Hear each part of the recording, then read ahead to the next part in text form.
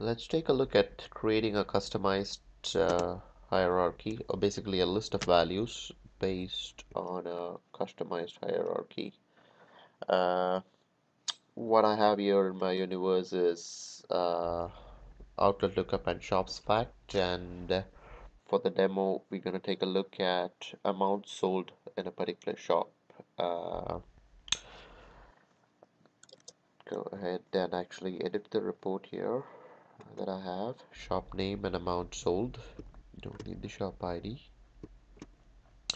and I'm gonna say shop name equal to or in list prompt. Enter the shop name and let's run this. You'll see that I get a list of values here based on a custom hierarchy. Uh, we'll go take a quick look at how this is created. Uh,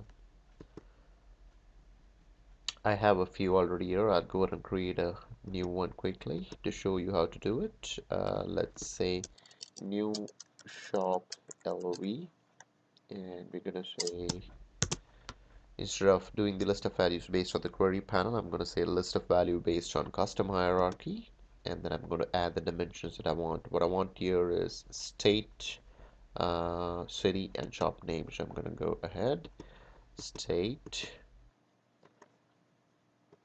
city and shop name. And then uh, we could preview it here. Uh, it's going to show what we saw in the report earlier but uh, it's the same stuff.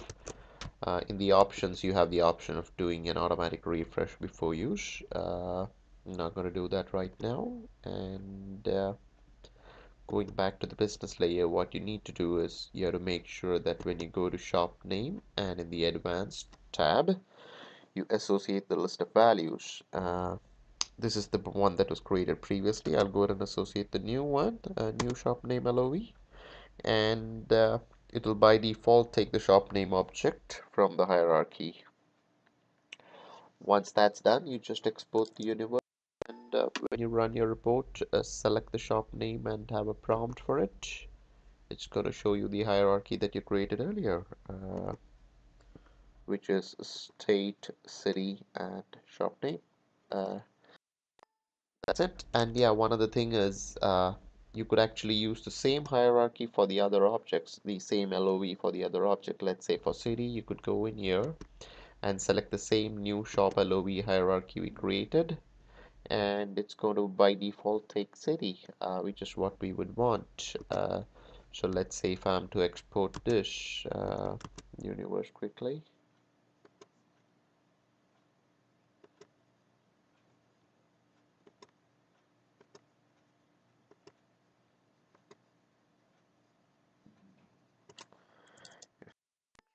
Universe uh, let me log out just to make sure that I got the latest version